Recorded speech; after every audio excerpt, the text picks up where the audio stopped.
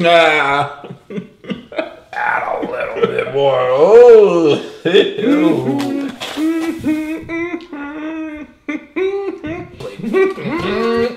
nah, honey, you need to throw a little bit more than that. honey, let me find out this got some flavor in it now. Got to throw a little, little bit more than that. Got a little bit of. It's salad. What? I I do it every day. all right, all right. All jokes aside, all jokes aside. Okay, let's take a look at me again. All right, this was me. Stomach was hanging out. Wasn't feeling so happy. My chest wasn't looking so good. My confidence levels were low. I want to change my life. I'll never forget this day. One day, I went to the boardwalk. I won a box of chocolates. It was a family pack. I ate about half of that box within 24 hours. And I was looking, I was looking at that box of chocolates the next day on the TV after downing it with some soda.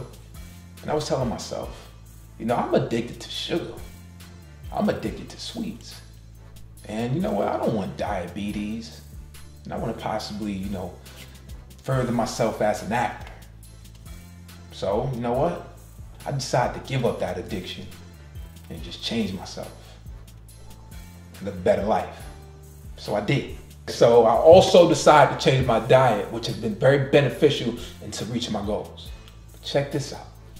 The American Heart Association says that the average American consumes 92.4 grams of sugar in a day and 3,400 36 milligrams of sodium. Woo! Now that's a lot when they say that the average man is supposed to consume 37.5 grams of sugar and the average woman should consume only 25 grams of sugar. Do you see the big difference? We're also supposed to consume between 1500 milligrams and 2300 milligrams of sodium in a day. Oh my. Can, can, can you please, please listen to me? Continue to just listen to me for, for, for just one second. Right? Having a high sugar and a sodium level diet does not only put on weight, but it also runs you the risk of having a stroke, getting diabetes, heart attack, or any other kind of physical illnesses that's out there. Listen, I don't want that to happen to you because I love you. I love you. So is it really worth it? All right, so this week, what I want you to do is, I want you to change your diet. I want you to count your sodium intake and I want you to count your sugar intake. Me, I have about 30 grams of sugar in a day and 1500 milligrams of sodium. And I feel good. So this is what I want you to do. Every time you eat something, I want you to start counting the amount of sugar and sodium that's in it. So for example, I love me some Snap Pea Crisp. These things slamming, jamming, all right? So it has about 3.5 servings in this one bag right here, and each serving is 50 milligrams. So that equals about 175 milligrams of sodium, all right? So I'll subtract that out of my 1500 milligrams for the day. So so now I don't want to hear oh uh uh if I don't put that much salt in my food or if I don't add a bunch of sweets that my food is not going to taste good. I don't want to hear that. There are other alternatives that's out there that'll satisfy your taste buds. Okay. Last thing. There are no cheat days with this diet.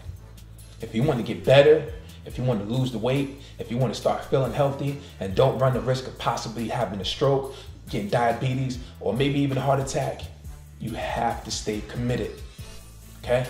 Remember, one day at a time of hard work goes a long way and it adds up. Let's get better together. I love y'all. Please continue on with week one and week two. Also, you can go back and check out some of our previous videos. Please subscribe and share. Let's get better together.